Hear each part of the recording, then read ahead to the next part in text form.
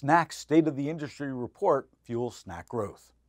What I find the most compelling about SNAC's latest report was not about the move towards health or better ingredients or non GMO, but rather their understanding of how the purchasing and consumption behaviors of consumers have changed.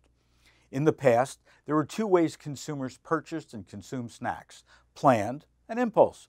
We now have identified two additional factors on demand and experiential. Sally Lyons Wyatt, EVP and practice leader of Client Insights of IRI, said Producers must consider all four factors when innovating and marketing products. Getting snacks in the hands of consumers is vital.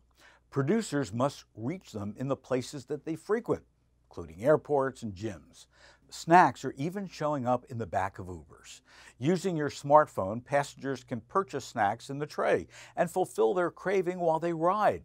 That, according to Jared Koerten, industry manager of food and nutrition of Euromonitor International.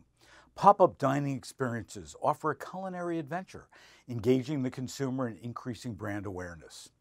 Snack availability generates more snacking occasions, increasing the opportunity for more experiential snacking, which excites consumers and drives consumption. Limited time offers and specialty branding can effectively create this experience. Shelf stable products are evolving to be fresher. Distribution models are allowing them to get directly to the consumer faster. On the go consumers don't want to prepare meals after work.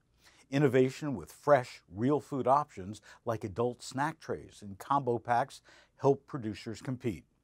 Price, packaging, and convenience all influence consumer choice.